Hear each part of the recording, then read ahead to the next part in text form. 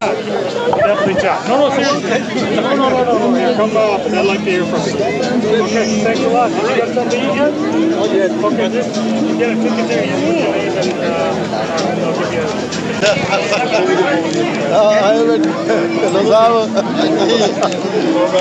eh, सामने रहने ना अच्छा और भाई यार एक और इंटरव्यू ਜਿਵੇਂ ਕਿ ਤੁਸੀਂ ਦੇਖ ਰਹੇ ਹੋ ਪਿਛੇ ਨਜ਼ਾਰਾ, ਅੱਜ ਸਾਡੇ ਬਹੁਤ ਹੀ ਮਾਨਯੋਗ ਸਤਿਕਾਰਯੋਗ ਐਮਪੀ ਰਣਦੀਪ ਸਿੰਘ ਸਰਾਏ ਜੀ, ਜੋ ਕਿ ਲਿਬਰਲ ਪਾਰਟੀ ਨੂੰ ਬਿਲੋਂਗ ਕਰਦੇ ਨੇ। ਅੱਜ ਇਹਨਾਂ ਨੇ ਸਪੈਸ਼ਲ ਬਾਰਬੀਕਿਊ ਕਰ ਰਹੇ ਨੇ, ਜੋ ਕਿ ਹਰ ਸਾਲ ਹੀ ਕਰਦੇ ਨੇ ਆਪਣੀ ਕਮਿਊਨਿਟੀ ਨੂੰ ਇੱਕ ਗੈਟ ਟੂਗੇਦਰ ਕਰਨ ਦੇ ਲਈ ਬਾਕੀ ਹੋਰ ਦੱਸੋ ਰਣਦੀਪ ਸਿੰਘ ਸਰਾਏ ਜੀ ਕਿ ਸਾਡਾ ਹੋਰ ਮਕਸਦ ਕੀ ਹੈ ਅੱਜ ਬਾਰਬੀਕਿਊ ਦਾ ਜੀ ਦੇਖੋ ਇਹ ਸਾਡਾ ਚੌਥਾ ਸਾਲਾਨਾ ਬਾਰਬੀਕਿਊ ਹੈਗਾ ਸਾਡਾ ਮੇਨ ਗੋਲ ਹੁੰਦਾ ਕਿ ਸਾਰੇ ਰਾਈਡਿੰਗ ਦੇ ਜਿਹੜੇ ਰੈਜ਼ੀਡੈਂਟ ਹੈਗੇ ਆ ਉਹ ਉਹਨਾਂ ਨੂੰ ਮੌਕਾ ਮਿਲੇ ਕਿ ਸਾਨੂੰ ਵੀ ਮਿਲ ਸਕਣ ਸਾਨੂੰ ਆਪਣੇ ਸਲਾਹ مشورے ਵੀ ਦੇ ਸਕਦੇ ਆ ਸਾਡੇ ਗਿਲੇ ਵੀ ਆਪਣੇ ਕੱਢ ਸਕਦੇ ਆ ਪਰ ਮੇਨ ਇੱਕ ਦੂਜੇ ਨਾਲ ਵੀ ਨੈਟਵਰਕ ਕਰ ਸਕਦੇ ਆ ਜਸ ਫਨ ਡੇ ਹੋਵੇ ਉਹਨਾਂ ਵਾਸਤੇ ਸੋ ਸੋ ਉਹਨਾਂ ਦੇ ਬੱਚਿਆਂ ਵਾਸਤੇ face painting games bouncy castle ਤੇ ਬਾਕੀਆਂ ਵਾਸਤੇ ਖਾਣਾ ਵੀ ਹੈਗਾ, ਇੱਥੇ ਆਲ ਟਾਈਪਸ ਆਫ ਫੂਡਸ ਹੈ ਵੈਜੀਟੇਰੀਅਨ ਹਲਾਲ ਰੈਗੂਲਰ ਵੀ ਫੂਡ ਹੈਗਾ। ਸੋ ਇਸ ਕਰਕੇ ਜਿਸ ਇੱਕ ਮਨੋਰੰਜਨ ਦੀ ਗੱਲ ਹੈ ਐਂ ਜਿਹੜੇ ਕੋਈ ਦੁੱਖ ਸੁੱਖ ਸਾਂਝੇ ਕਰਨੇ, ਉਹ ਅਸੀਂ ਕਰ ਸਕਦੇ ਇੱਥੇ। ਬਿਲਕੁਲ ਜੀ, ਅਗਰ ਤੁਸੀਂ ਕਈ ਵਾਰੀ ਹੁੰਦਾ ਕਿ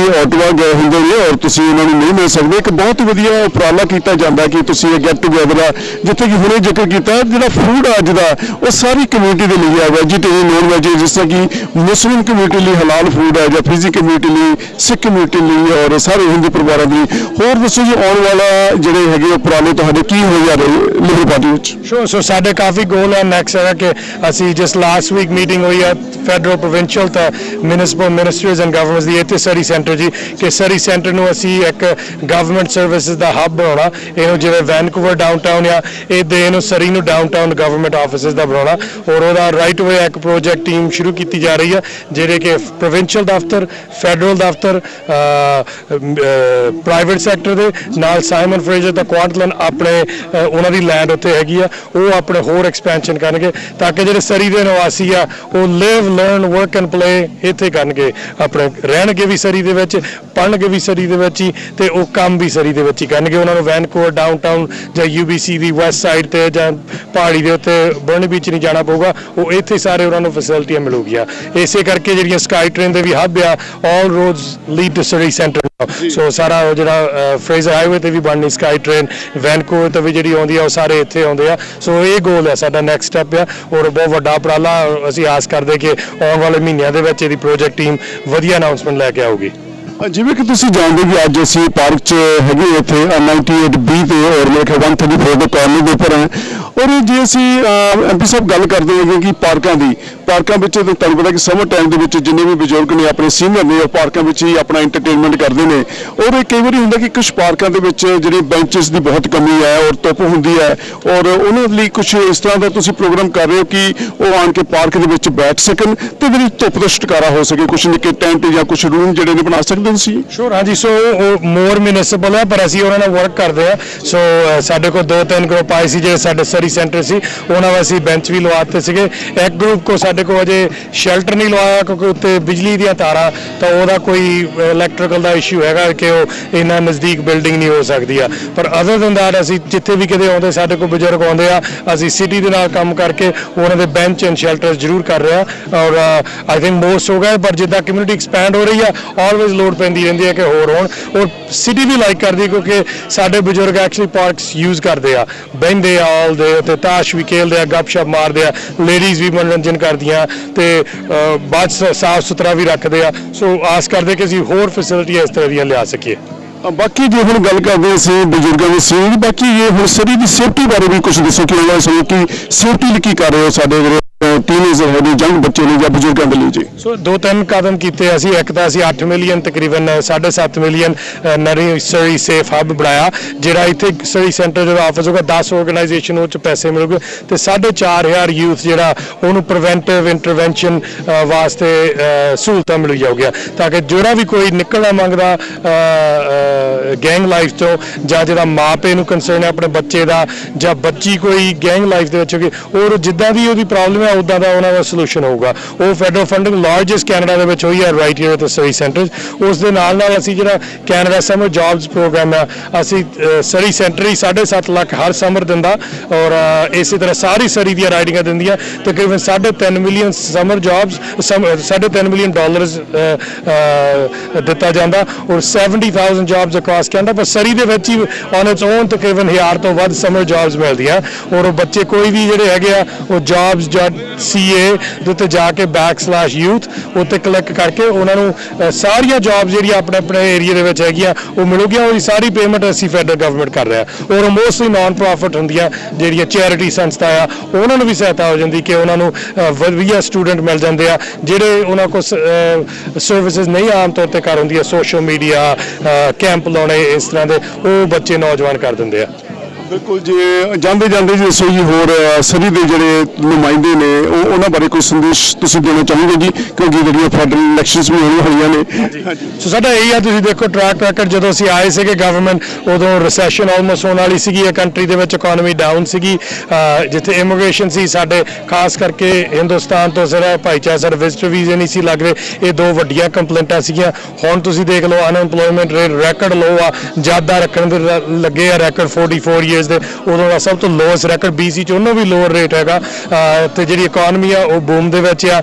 ਵਿਜ਼ਟਰ ਵੀਜ਼ੇ ਹੁਣ ਸਗਾ ਕੰਪਲੇਂਟ ਉਲਟ ਕਈ ਵਾਰੀ ਆ ਜਾਂਦੀ ਵੇ ਜ਼ਿਆਦਾ ਤੁਸੀਂ ਖਿਲਾਤੇ ਪਰ ਇਹ ਨਹੀਂ ਆਉਂਦੀ ਕਿ ਸਾਡੇ ਨਹੀਂ ਹੁੰਦੇ। ਔਰ ਮੈਜੋਰਿਟੀ ਜਿਹੜੇ ਵੀਜ਼ੇ ਲੱਗਦੇ, ਸਾਡੇ ਸਟੂਡੈਂਟ ਬੜੇ ਆਉਂਦੇ ਆ। ਔਰ ਬਹੁਤ ਓਵਰਆਲ ਜਿਹੜੇ ਕੰਮ ਆ ਵਰਕਰ ਆ, ਉਹ ਬਹੁਤ ਵਧੀਆ ਕੰਮ ਕਰ ਰਹੇ ਉਹਨਾਂ ਨੂੰ ਸਾਰਿਆਂ ਨੂੰ ਰੂਟ ਮਿਲਿਆ ਕਿ ਜੇ ਉਹਨਾਂ ਨੂੰ ਕੰਮ ਮਿਲਦਾ ਇੱਥੇ, ਉਹ ਇੱਥੇ ਰਹਿ ਸਕਦੇ ਆ। ਔਰ ਜਿਹੜੇ chambers of commerce boards of trade ਆ ਮਿਊਨਿਸਪੈਲਿਟੀਆਂ ਔਰ ਕੰਪਨੀਆਂ ਦੀਆਂ ਐਸੋਸੀਏਸ਼ਨਸ ਆ, ਉਹ ਸਾਰੀਆਂ ਬਹੁਤ ਖੁਸ਼ ਹੈ ਕਿ ਕੈਨੇਡਾ ਦਾ ਇਮੀਗ੍ਰੇਸ਼ਨ ਸਿਸਟਮ ਵੈਰੀ ਸਕਸੈਸਫੁਲ ਹੈ ਇਸੇ ਕਰਕੇ ਮਾਈਕਰੋਸਾਫਟ ਨੇ ਆਪਣਾ ਹੈਡ ਆਫਿਸ ਡਿਵੈਲਪਮੈਂਟ ਦਾ ਵੈਨਕੂਵਰ ਬਣਾਇਆ। ਇਸੇ ਕਰਕੇ Amazon ਨੇ 6000 ਜੌਬਸ ਦਾ ਆਪਣਾ ਵੈਨਕੂਵਰ ਆਫਿਸ ਬਣਾਇਆ। ਇਹ ਕਦੇ ਵੀ ਪਹਿਲਾਂ ਸੁਣਿਆ ਨਹੀਂ ਸੀ ਕਿ ਇਹ ਕੰਪਨੀਆਂ ਵੈਨਕੂਵਰ ਲੋਅਰ ਮੇਨਲੈਂਡ ਚ ਆਉਣ ਲੱਗ ਪਈਆਂ। ਇਸੇ ਤਰ੍ਹਾਂ ਸਰੀ ਚ ਇੱਥੇ ਜੇ ਤੁਸੀਂ ਦੇਖੋ ਲਾਰਕ ਦੀਆਂ ਚਾਰ ਬਿਲਡਿੰਗਾਂ ਬਣ ਚੁੱਕੀਆਂ, ਅੱਠੋਂ ਨਹੀਂ ਬਣਾਉਣੀਆਂ। ਸਾਰੀਆਂ ਹੈਲਥ ਸਾਇੰਸਸ ਦੇ ਜਿਹੜੇ ਮੋਸਟ ਐਡਵਾਂਸ ਐਜੂਕੇਸ਼ਨ ਬ੍ਰੇਨ ਦੇ ਸਕੈਨ ਕਰਨ ਵਾਲੇ, ਉਹ ਨਹੀਂ ਇੱਥੇ ਦਫ਼ਤਰ ਖੋਲੇ ਆ। ਸੋ ਇਹ ਸਾਰੇ ਬੱਚਿਆਂ ਵਾਸਤੇ ਜੌਬਸ ਔਰ ਨੌਜਵਾਨ ਕਮਿਊਨਿਟੀ ਵਾਸਤੇ ਜੌਬਸ ਇੱਥੇ ਮਿਲ ਰਹੀਆਂ। ਔਰ ਸਾਡਾ ਫੋਰੈਂਸਿਕ ਲੈਬ ਵੀ ਇਹ ਖੁੱਲ ਰਹੀ ਆ। ਅ, 60 ਮਿਲੀਅਨ ਦੀ ਹੈ ਤਾਂ 140 ਉੱਥੇ ਜੌਬਸ ਹੋਣਗੀਆਂ। ਸੋ ਆਲ ਇੱਥੇ ਸਰੀ ਸੈਂਟਰ 'ਚ ਹੀ ਹੋ ਰਿਹਾ। So I think the proof is in the pudding ਜਿੱਦਾਂ ਗੋਰੇ ਕਹਿ ਦਿੰਦੇ ਹੁੰਦੇ ਸੋ ਜਦੋਂ ਤੁਸੀਂ ਵੋਟ ਪਾਉਣੀ ਆ ਜਰੂਰ ਖਿਆਲ ਰੱਖਿਓ ਵੀ ਕਿਹਨੀ ਡਿਲੀਵਰ ਕੀਤਾ। ਆਲੇ ਦੁਆਲੇ ਤੁਹਾਨੂੰ ਹੈਲਪ ਵਾਂਟਡ ਜੌਬ ਸਾਈਨ ਮਿਲਦੇ ਕਿ ਤੁਹਾਨੂੰ ਅਨਪਲੋਇਮੈਂਟ ਦੇ ਰੇਟ ਦੇ ਮਿਲਦੇ ਆ। ਬਾਕੀ ਦੇ ਦੀਆਂ ਜਿਹੜੀ ਜੋ ਵੀ ਸਹਾਇਤਾ ਦੀ ਲੋੜ ਆ ਉਹ ਸਾਡੇ ਆਫਿਸ ਆਲਵੇਸ ਖੁੱਲੇ ਆ। ਅਸੀਂ 24/7 7 ਡੇਜ਼ ਅ ਵੀਕ ਅਸੀਂ ਹਾਜ਼ਰ ਆ ਸਾਡੇ ਦਫ਼ਤਰ ਮੰਡੇ ਟੂ ਫਰਾਈਡੇ ਪਰ ਅਸੀਂ ਵੀਕਐਂਡ ਤੇ ਵੀ ਹਾਜ਼ਰ ਹੁੰਦੇ ਆ ਇਸ ਗੱਲ ਤੇ ਮੈਂ ਸਹਿਮਤ ਹੋਵਾਂ ਕਿ ਜੇ ਜੌਬਸ ਦੀ ਗੱਲ ਕਰਦੇ ਸਰਚ ਕਰਦੇ ਆਪਾਂ, ਤਾਂ ਜੌਬਸ ਤੇ ਜਿਹੜੀ ਲਿਬਰਲ ਪਾਰਟੀ ਆਈ ਹੈ ਪਿਛਲੇ ਮੈਂ 6 ਮਹੀਨੇ ਸਰਚ ਕਰ ਰਿਹਾ ਸੀ, ਕਾਫੀ ਜਿਹੜੀਆਂ ਜੌਬ ਇਨਕਰੀਜ਼ ਹੋਈਆਂ ਨੇ ਔਰ ਕਰਨ ਵਾਲੇ ਚਾਹੀਦਾ ਪਰ ਜਿੱਥੇ ਕਿ ਇੰਟਰਨੈਸ਼ਨਲ ਸਟੂਡੈਂਟ ਜਿਹੜੇ ਨਾ, ਜਾਂ ਹੋਰ ਜਿਹੜੇ ਪੀਆਰ ਇੱਥੇ ਲੋਕੀ ਏਸ਼ੀਅਨ ਕੰਟਰੀਆਂ ਤੋਂ ਆਏ ਨੇ, ਉਹ ਤਾਂ ਖੁਸ਼ ਨੇ।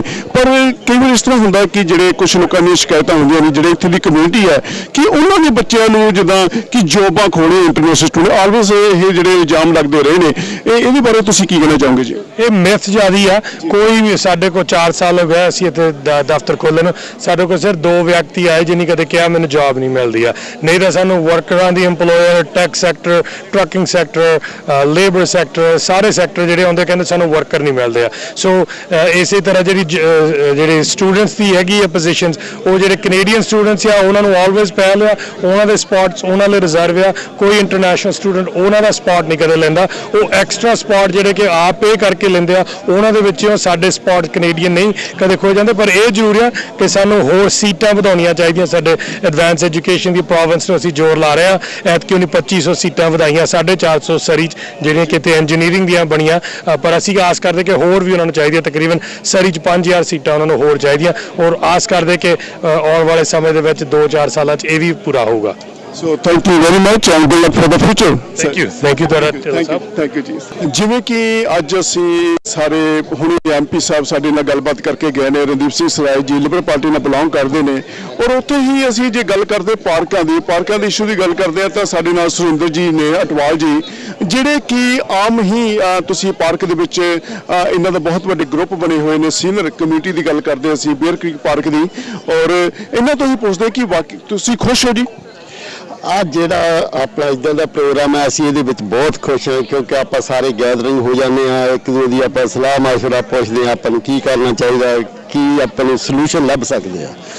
ਤੇ ਬਾਕੀ ਆ ਜਿਹੜੀ ਹੁਣ ਪਾਰਕਾਂ ਸੀਗੀਆਂ ਰੋਡਾਂ ਦੇ ਜਾਂ ਹਸਪੀਟਲ ਤੇ, ਉਹ ਜਿਹੜੀਆਂ ਪਾਰਕਾਂ ਫ੍ਰੀ ਕੀਤੀਆਂ, ਉਹ ਬਹੁਤ ਚੰਗਾ ਕੀਤਾ। ਤੇ ਬਾਕੀ ਆ ਜਿੱਦਾਂ ਜਿਹੜਾ ਅੱਗੇ ਆ ਪ੍ਰੋਗਰਾਮ ਇੱਥੇ ਕਰਾਇਆ ਸੀ ਉਹ ਜਿੱਦਾਂ ਉਦਾਂ ਦਾ ਪ੍ਰੋਗਰਾਮ ਨਹੀਂ ਹੋਣਾ ਚਾਹੀਦਾ ਕਿਉਂਕਿ ਸਾਰੇ ਜਿੰਨੇ ਇੱਥੇ ਅਸੀਂ ਰਹਿੰਦੇ ਆ ਬਹੁਤ ਡਿਸਟਰਬਿੰਗ ਸੀ। ਕਿਹੜੇ ਪ੍ਰੋਗਰਾਮ ਦੀ ਗੱਲ ਕਰ ਰਹੇ ਹੋ ਤੁਸੀਂ? ਜਿਹੜਾ ਇੱਕ ਵੀ ਕੋਈ ਆ ਜਿਹੜਾ ਗੋਰਿਆਂ ਦਾ ਪ੍ਰੋਗਰਾਮ ਸੀ 2-300 ਡਾਲਰ ਇੱਕ ਟਿਕਟ ਦਾ ਸੀ ਇੱਕ ਦਿਹਾੜੀ ਦਾ। ਤੇ ਜਿੰਨੇ ਵੀ ਇੱਥੇ ਤਿੰਨ ਦੋ ਸਾਲ ਡੇਢ ਵੀਕ ਇੰਨਾ ਕਰਾਊਡ ਸੀ ਇੱਥੇ।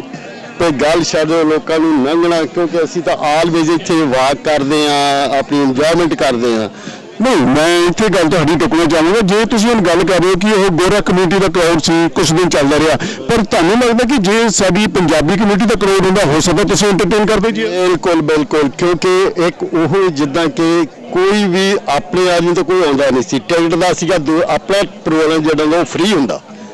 ਉਹ ਜਿਹੜਾ ਪ੍ਰੋਗਰਾਮ ਸੀ ਉਹ ਟਿਕਟ ਤੇ ਸੀ। ਤੇ ਇਹਦੇ ਵਿੱਚ ਜਿੱਦਾਂ ਹੁਣ ਜੇ ਸਿਟੀ ਇਹਨੂੰ ਪਾਰਕ ਨੂੰ ਲੀਜ਼ ਕਰਦੀ ਆ ਜੇ ਪਾਰਕ ਲੀਸ ਨਹੀਂ ਕਰਨੀ ਚਾਹੀਦੀ, ਉਹਨਾਂ ਉਹਨਾਂ ਨੂੰ ਹੋਰ ਕਿਤੇ ਕਰਨਾ ਚਾਹੀਦਾ।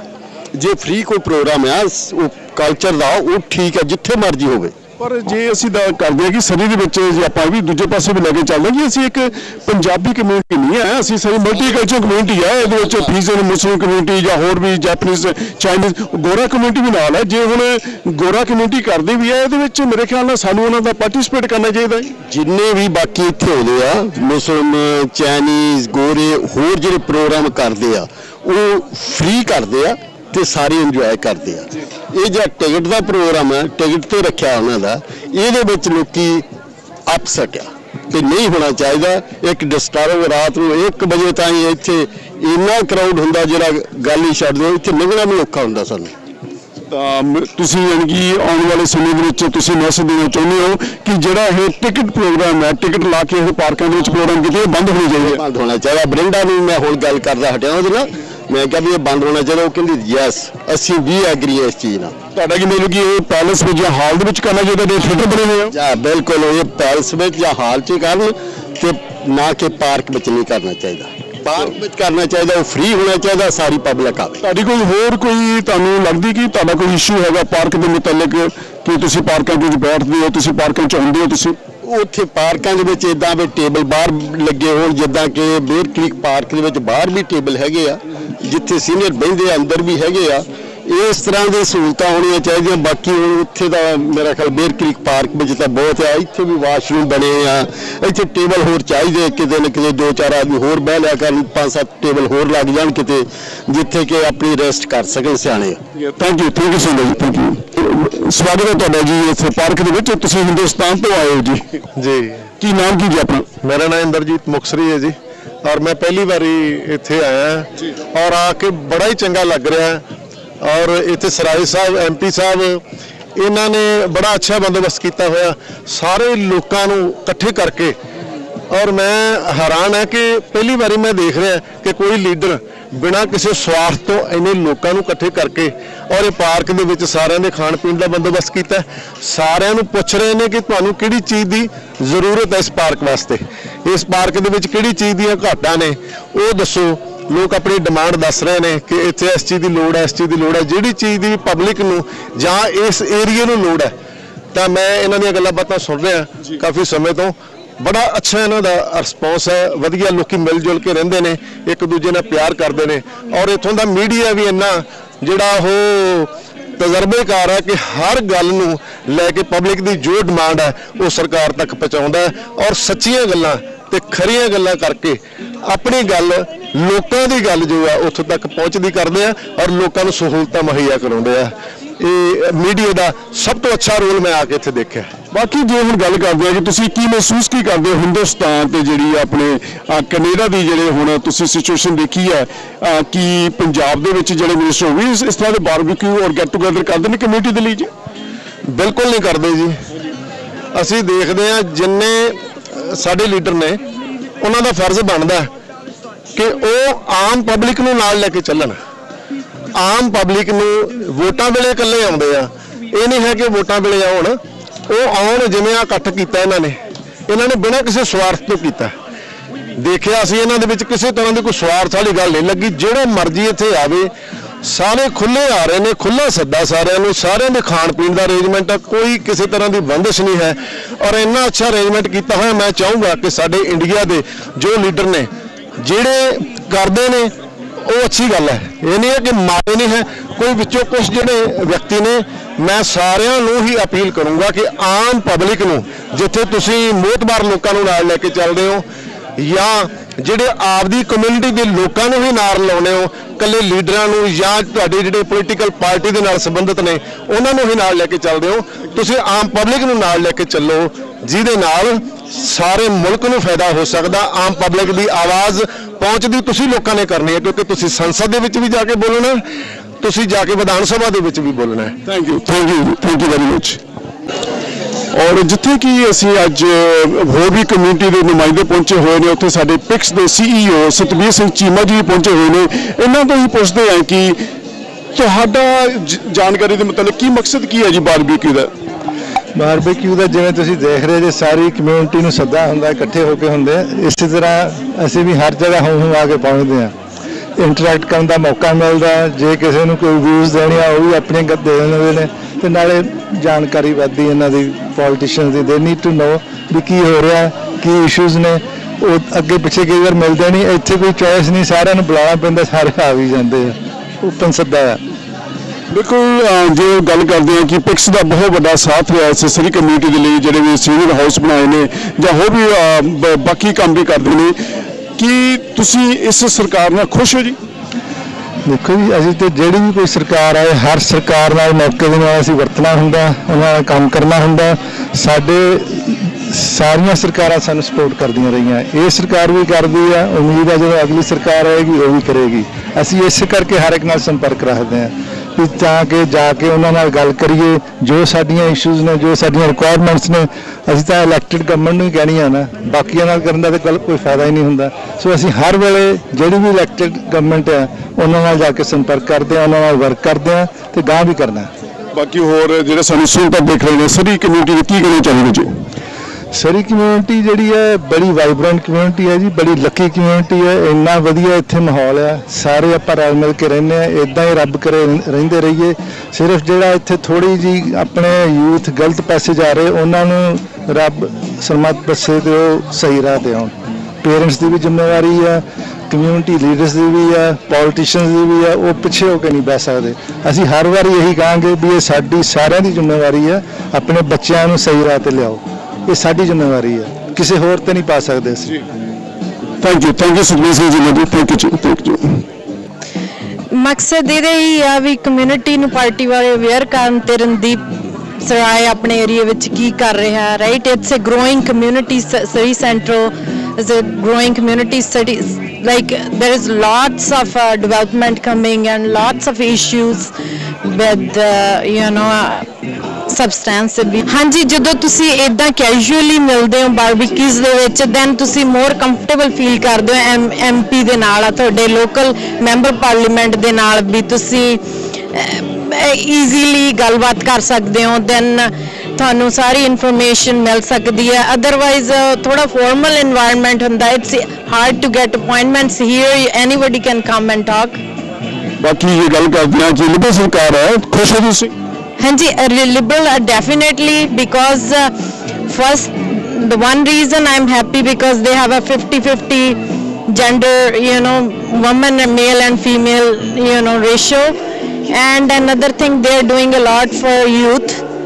And uh, yeah, ਆਪਾਂ ਬਿਲਕੁਲ ਖੁਸ਼ ਹਾਂ ਬਾਕੀ ਜਿਹੜੇ ਸਰੀ ਦੀ ਕਮਿਊਨਿਟੀ ਨੂੰ ਕੀ ਤੁਸੀਂ ਮੈਸੇਜ ਦੇਣਾ ਚਾਹੁੰਦੇ ਕੁਝ ਸਿਟੀ ਤੇ ਕਮਿਊਨਿਟੀ ਨੂੰ ਤਾਂ ਮੈਂ ਇਹੀ ਕਹਿਣਾ ਚਾਹੁੰਦੀ ਹਾਂ ਵੀ ਜਦੋਂ ਵੀ ਤੁਸੀਂ ਇਲੈਕਟ ਕਰਨਾ ਹੁਣ ਇਲੈਕਸ਼ਨਸ ਆ ਰਹੀਆਂ ਅਕਤੂਬਰ ਦੇ ਵਿੱਚ ਚੰਗੀ ਤਰ੍ਹਾਂ ਦੇਖੋ who is doing what and ਸੋਚ ਸਮਝ ਕੇ ਵੋਟ ਪਾਓ and elect liberals again definitely liberal supporter ਹੋ ਤੁਸੀਂ? Yes I am yeah thank you thank you Neeli ji thank you barbecue ਦਾ ਹੈਗਾ ਆਪਰਚੂਨਿਟੀ ਹੈਗੀ ਸਾਰੇ ਕਮਿਊਨਿਟੀ ਗੈਟ ਟੁਗੇਦਰ ਤਾਂ ਨਾਲ ਅਸੀਂ ਨਾਟ ਓਨਲੀ ਮੀਟਿੰਗ ਪਰ ਇਸ਼ੂ ਵੀ ਕਈ ਡਿਸਕਸ ਕਰ ਸਕਦੇ ਹਾਂ ਕਿ ਰੈਜ਼ੀਡੈਂਟਸ ਆ ਕੇ ਸਿੱਧਾ ਨੂੰ ਇੰਟਰੈਕਸ਼ਨ ਹੈਗਾ ਇਲੈਕਟਡ ਅਫੀਸ਼ੀਅਲ ਦੇ ਨਾਲ ਚਲੋ ਯੂ ਰਣਦੀਪ ਨੇ ਯੂ نو ਬਹੁਤ ਅੱਛਾ ਕੰਮ ਕੀਤਾ ਸਾਰਾ ਹੋਸਟ ਕੀਤਾ ਪਰ ਹੋਰ ਵੀ ਯੂ نو ਇਲੈਕਟਡ ਪੋਲਿਟਿਸ਼ੀਅਨ ਹੈਗੇ ਯੂ نو ਕਮਿਊਨਿਟੀ ਮੈਂਬਰਸ ਵੀ ਹੈਗੇ so it's a great opportunity ਸਾਰੇ ਕਮਿਊਨਿਟੀ ਸਾਰੇ ਪਾਸਿਆਂ ਤੋਂ ਡਿਫਰੈਂਟ ਕਲਚਰਸ ਵੀ ਆ ਕੇ ਮੀਟ ਕਰ ਸਕਦੇ ਆ ਬਾਕੀ ਜੇ ਗੱਲ ਕਰਦੇ ਹਾਂ, ਬਸ ਸਰੀ ਲਈ ਹੋਏ ਜੇ ਗੱਲ ਕਰਦੇ ਪਾਰਕਾਂ ਦੀ ਗੱਲ ਕਰਦੇ ਹੋ ਜਾਂ ਹੋਰ ਵੀ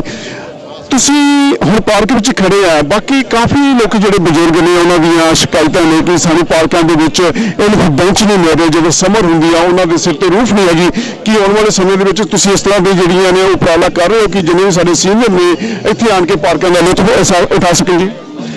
ਜਾਂ ਹੁਣ ਪ੍ਰੋਗਰਾਮ ਤਾਂ ਹੈਗਾ ਸਿਟੀ ਦੇ ਵਿੱਚ ਜਿੱਥੇ ਅਸੀਂ ਪਾਰਕ ਬੈਂਚਸ ਅਸੀਂ ਲਾਉਂਦੇ ਤੇ ਹੈਗੇ ਆ ਪਹਿਲੇ ਨੀਡਸ ਅਸੈਸਮੈਂਟ ਕਰਦੇ ਹੈਗੇ ਆ ਤਾਂ ਅਸੀਂ ਦੇਖਦੇ ਹਾਂ ਹੋਰ ਨਾਲ ਫੈਸਿਲਿਟੀ ਕੀ ਹੈਗੀ ਆ ਜੇ ਵਾਸ਼ਰੂਮ ਨਾਲ ਹੈਗੇ ਆ ਪਲੇਗਰਾਉਂਡ ਵੀ ਹੈਗਾ। ਸੋ ਅਸੀਂ ਕਾਫੀ ਪਾਸੋਂ ਦੇਖ ਰਹੇ ਆ ਐਂਡ ਯੂਜੂਅਲੀ ਜੇ ਫੰਡਿੰਗ ਦਾ ਇਸ਼ੂ ਇੰਨਾ ਨਹੀਂ ਹੁੰਦਾ all the time park is install ਕੇ ਪਰ ਜਿਹੜੀ ਮੇਨਟੇਨੈਂਸ ਹੁੰਦੀ ਆ ਉਹ ਕਈ ਵਾਰ ਥੋੜੀ ਚੈਲੰਜਿੰਗ ਹੁੰਦੀ ਆ।